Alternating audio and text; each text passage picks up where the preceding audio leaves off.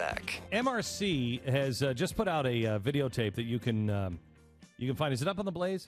I think it is. Yeah, the Media Research Center. These guys do really good work and the- really good stuff. You remember what was it last week or two weeks ago? We found out that uh, over in the Hague, um, we had um, uh, you know uh, the activist groups, NAACP, NAACP. Yeah, Ben activist Jealous was there. trying to convince the global court that America was being racist because we were we were saying that you, you need to have a um, uh, a, a form of ID to go vote. Supposedly, that's disenfranchising voters and especially uh, minorities. I, I, I can't for the life of me understand it. And Didn't, didn't he say something to the effect of seventy-five percent of Yes. black men don't have ID? Ben Something Jealous said- ridiculous like that. He said some. So who's 75%? according to some estimates.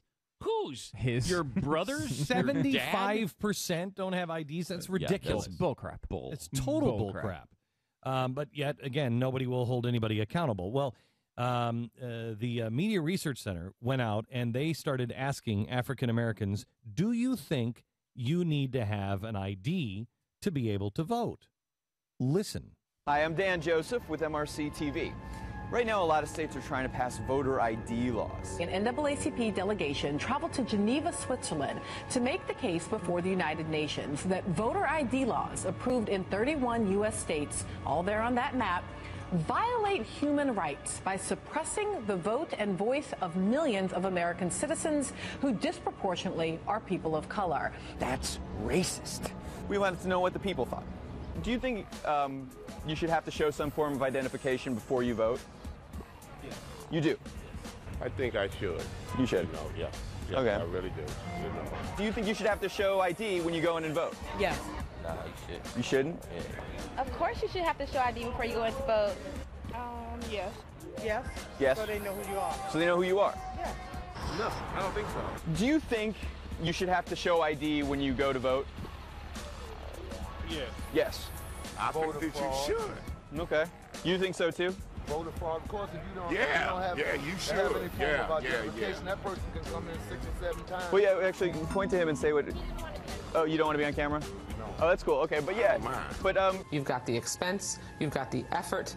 Uh, there- there's uh, difficulties for, for many people in getting a photo ID. So you're literally just throwing a barrier in the way of someone who's trying to exercise their right to vote. I, I guess they think that minorities have a harder time getting ID. Do you think there's any credibility to that? No, because I'm a minority and have an ID. You have an ID. My own children, they have ID. You have an ID. I have ID. Okay. My, my high school children have an ID. How do you prove who you are and not not someone else when you go in and try to vote? I know your social security number. Social security number. Okay. No, because anybody can get ID. That's what I say. Anybody can get ID. I think that's just an excuse. I don't think it's discrimination at all. I mean, it's pretty standard. You have to have an ID in America, whether you're black, white, Indian. It doesn't really matter. Do you have an ID? I actually do have an ID. Okay. Good. I have my ID. You have ID. Yeah. so Okay. I'm, I'm figuring. Was it any trouble for you to get one? No. Was it hard? Okay. All right. If, if it's hard for some seniors to get out, if you're talking about the seniors, maybe, uh, if it's hard for them to get out, go around and get them, take them out. They have non non-driver's ID. But uh, I mean, who's to say if you go in the voting booth, that's me? I think everybody should have ID. Everybody. So they know who's who. You need to know who's who. Yeah. Personally, I think your your word is your bond. So I think that um, whatever whoever you say you are, you should be. Do you have an ID? Yeah. And you didn't have any trouble getting it? No. Okay. I don't know. I, this is what I heard. So, so I mean, we're incredible. led to believe that African Americans are on board with this nonsense that they can't get ID. That must be so insulting. I, if this was I me, think the whole thing so insulting. Uh, uh, Can you imagine where you were being used for someone else's gain? Yeah. You're being that's all because that's all that's happening here. Yeah. You're being used for someone else's gain. Did you see what um uh oh shoot um he was on last week. He used to be the head of the NAACP here in Texas. Uh the the preacher that was on with us last week and he came out and he said what's happening in Florida is wrong. They're using uh, people like Jesse Jackson and Al Sharpton are using the death of this kid, and this isn't this isn't anti-black. This is This is wrong. The, I don't know if you saw this. The former or the head of the Black Panthers, the old Black Panthers, has come out now against the new Black Panthers and said, you know, we used to be for something. the Black, think of this. The Black Panthers used to be for Black power. You guys, the new Black Panthers, you're anti-white. That's all that is. I mean, there's there are people inside now of the radical Black Panthers saying, you know, I, have had enough of this. Mm-hmm. And you expect, uh, you know, nonsense from the new Black Panther Party, but it's like you played clips from, I mean, Debbie Wasserman Schultz. Yes, I mean, who- one of the leaders in the Democratic Congress who's saying these things. That's not, I mean, not just only completely, uh, you know. Uh, I mean, with the evidence you just played, uh, which is somewhat anecdotal of people just in the street saying it, but I mean, the polling backs this exact thing up. Sixty-two by a margin of sixty-two to twenty-nine. Black uh, Wow. ba- black Americans say, "I want photo ID at the polls, not just ID." That's African Americans, 62 to 29? 62 to 29. Overall, the percentage Wow. for uh, all Americans is 75 to 18 in favor of photo ID at the polls. Uh, wow. How can you possibly be Wow. against it? I don't know. I, Seriously. I don't know And- anyone against it. Wasserman Schultz's quote was there's about getting an ID, about having an ID before you can vote. There's cost involved, there's effort. Oh, excuse me. So what? The uh, same thing. There's effort. You should you- should Voting be is a to vote. privilege. Yeah. It's a privilege. Right. And just like driving, it is a privilege. It takes time. You have to take a test. It You takes effort. You don't have to take a test to vote, but you do have to be you have to be a citizen to vote. You do have if everything is effortless, it means nothing. Since when were we promised our citizenship would be effortless? You know, let me uh, let me ask you something. It takes Never. it takes time and effort.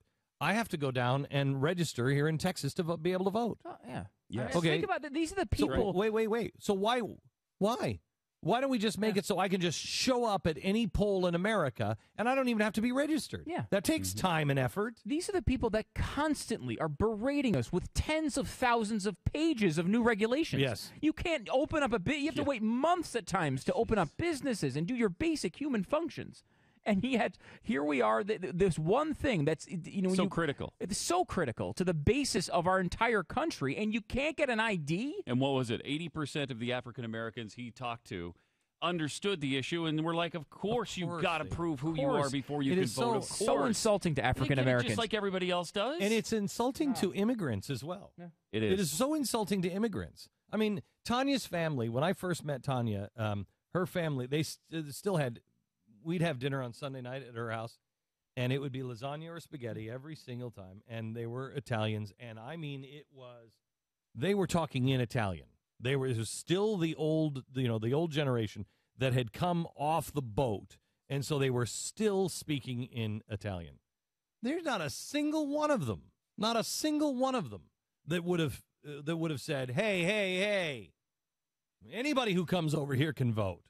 They knew that it was a privilege, and the people who come through the doors the right way are not looking for free stuff, but want a part of the American dream. They wa- they want to make sure they're living by the law as well. They want to make sure that they understand that's a privilege because it's a privilege they don't have in their own country. They also understand that they went through the process, so they expect others to do the very same thing. Yeah. If I did it, you can too. There's no free ride here. Yeah, and there's literally nobody that disagrees with this. Uh, no group that disagrees with this concept. Liberals, liberals, people who identify themselves as liberal have a 60 to 32 uh, uh, response in favor of requiring photo IDs at the polls.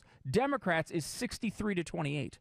So even Democrats and liberals are completely on board with this. By the way, they're also on board with saying that the uh, individual mandate is unconstitutional, but that's another story. But I mean, this is widespread support.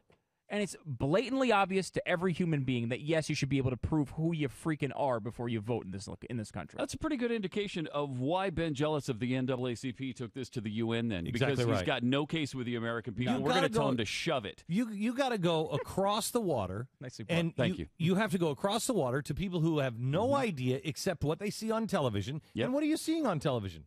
What are you hearing from our own president? I- I- Think about the way the Americans are being portrayed now in the rest of the world. They have no idea who we are. They have no idea who we are. The way the Tea Party, think about going over someplace overseas and being saying, "Yeah, I'm a member of the Tea Party." What they must think because all they get is the is the impression from our media and theirs. There's no there's no shot of them not thinking. You, you can't tell me that this um, uh, this shooting in Florida is not a big story about America overseas. That's how it's being portrayed. I'm sure. Exactly right. We're all, Exactly right. evil haters. Evil haters. Here's a guy who's a white Hispanic. He just gunned him down in the streets. They love those kinds of stories because they don't have guns. And so, see, this is what that's why their media, their elites, their government loves these stories because, see, it's the Wild West over there. And you're just getting shot all the time. when all we've done as a country is stop these injustices that mainly came to us from Europe and also have gone around the world trying to stop horrible genocides and other countries who have done terrible things to their own people. How many ti- how many countries have we bailed out of that situation? All right.